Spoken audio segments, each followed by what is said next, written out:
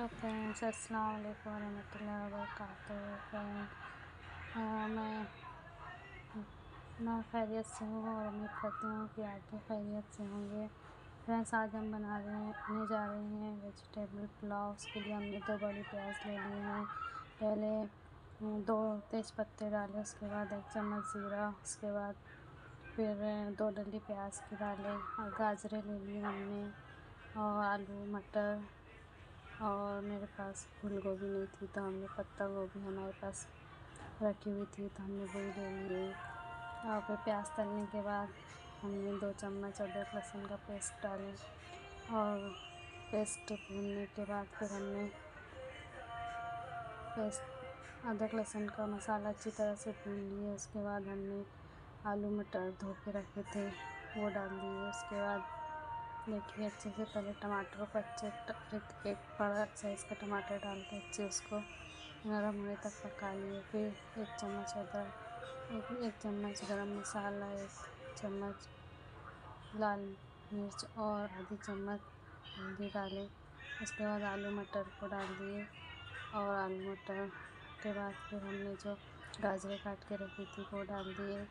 उसके बाद फिर जो पत्ता गोभी हमारे पास थी, फूल गोभी नहीं थी हमारे पास, पत्ता गोभी थी थोड़ी सी तो हमने वही डाल दिए उससे भी स्वाद अच्छा आता है। देखते हमने फिर और डाल के अच्छा भूने, थोड़ी देर फिर हल्दी भी डाल दी, आधी चम्मच। और फिर उसको अच्छी पाँच मिनट तक भूने। पाँच मिनट भूनने के बाद फिर हमने नमक डाले दो चम्मच, क्योंकि हम दो कटोरी वो बना रहे हैं। तो दो कटोरी देखिए, दो कटोरी में चावल हमने ले लिए है कुकर में।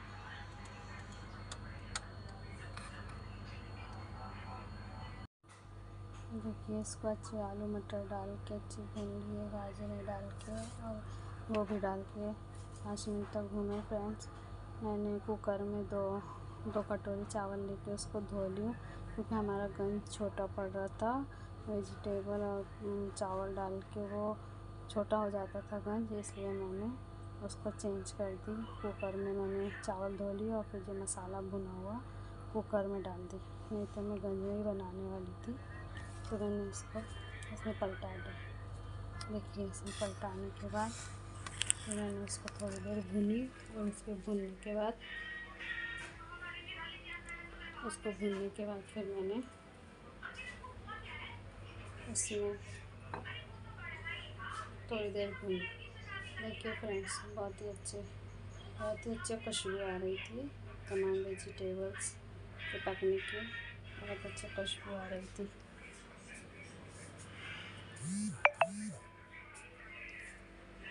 उसके बाद फिर मैंने एक लोटा पानी डाल दिया इसमें। देखिए फ्रेंड्स मैंने इसमें एक चम्मच असली घी भी डाली थी।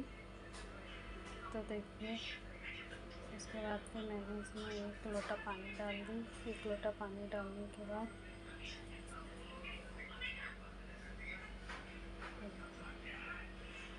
दो चम्मच नमक डाली और एक लोटा पानी डाली और इसको अच्छे से मिला के, इसको अच्छे से मिला के मैंने कुकर का ढक्कन लगा दी। और कुकर का ढक्कन लगाने के बाद उसको अच्छा सॉरी मैंने फिर अच्छा सारा मिट्टी भर के हरा धनिया भी डाली इसके अंदर। और हरा धनिया डालने के बाद बारीक बारीक काट के डाली और फिर कुकर का ढक्कन लगा दी। साथ ही साथ फिर मैंने दही मंगाई थी तो फिर साथ ही साथ मैंने फिर दही रायते का भी इंतज़ाम कर लें और रायता भी बना ली मैंने। रायता बनाने के लिए मैंने दो हरी मिर्ची ली समार ली और एक चम्मच ज़ीरा ली। एक चम्मच ज़ीरा ली और एक चम्मच नमक डाली। उसको अच्छा पीस ली। उसके बाद फिर उसके बाद फिर मैंने दही दही ली दही ली। पाँच चम्मच के करीब दही भी डाल ली मैंने उसमें और उसको अच्छा महीन पीस ली। दही लाए थे हमारे घर रविश लाए थे। दही लाए थे तभी मैंने उसको चार, पाँच चम्मच दही ले ली। दही भी डाल के अच्छा बारीक ग्राइंड कर ली। रायता भी इधर तैयार हो रहा था उधर चावल कुकर में सीटी आ, आ रही थी और इधर मैंने हम्म, रायता तैयार कर लिए लेकिन मानिए इतनी अच्छी खुशबू आ रही थी। वेजिटेबल पुलाव की।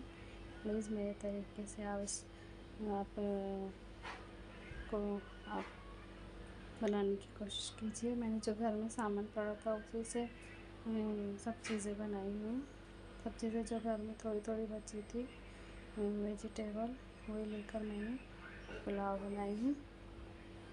इधर मेरे कुकर जब तक ठंडा हो रहा था, तब तक के मैंने कुकर की सीटी भाप निकलने तक के मैंने अपना सारा काम कर लिया, सफ़ाई कर ली साथ ही साथ सफ़ाई भी कर ली। और फिर मैंने सोचा कि बच्चे अभी खाएँगे खाना रात का तो थोड़े फ्रूट्स वगैरह भी खाएँगे तो मैंने फ्रूट्स भी खा साथ ही साथ फ्रूट्स भी काट ली।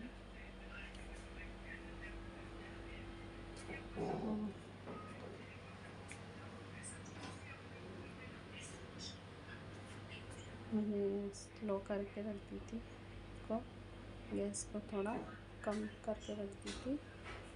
ताकि दम लग जाए, चावल में सीटी आ चुकी थी और एक सीटी के बाद मैंने फिर उसको कम करके रख दी।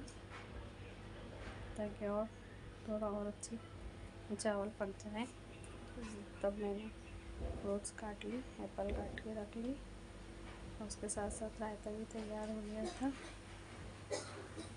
रात के खाने का टाइम हो रहा था। हम सब खाना खाने वाले थे। फ्रेंड्स अगर आपको मेरा ब्लॉग अच्छा लगा हो तो प्लीज़ मेरे चैनल को सब्सक्राइब करें। और लाइक्स करें। और मेरे वीडियो को शेयर करें। प्लीज़ प्लीज़ आपके सपोर्ट की मुझे बहुत ज़रूरत है। और देखिए, आप मेरे तरीके से एक बार ये बनाकर देखिए। वेजिटेबल पुलाव, इतनी मज़ेदार खुशबू आ रही थी। कुकर खोली तो मैंने। फ्रेंड आपके सपोर्ट की बहुत ज़रूरत है मुझे। प्लीज़ प्लीज़ आप मुझे सपोर्ट करें। और मैं और अच्छी वीडियो बनाने की कोशिश करूँगी फ्रेंड्स देखिए कितना मज़ेदार देखने में कितना लजीज और मज़ेदार लग रहा था। साथ में रायता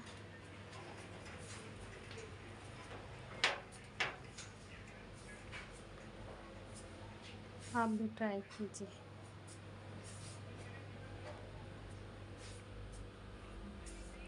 वीडियो पसंद आई हो तो एक लाइक ज़रूर कीजिए।